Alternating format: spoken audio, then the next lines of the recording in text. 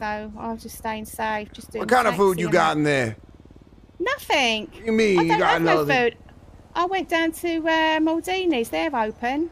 Maldini, what you doing at the... What the hell? What you mean you ain't got no food? You coming down here? You're really close to the south side. You know, I am motherfucker. close to the south You're lucky on, you ain't ain't under that south bridge. You're lucky you ain't under that bridge, because if you was under that goddamn bridge Yeah. right now, then we...